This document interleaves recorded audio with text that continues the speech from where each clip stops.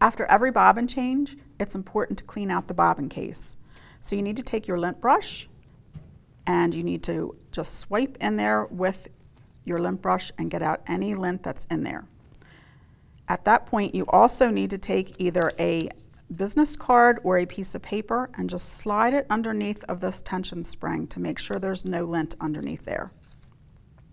When you go to load your bobbin back in there, you need to make sure that is winding off the bobbin clockwise.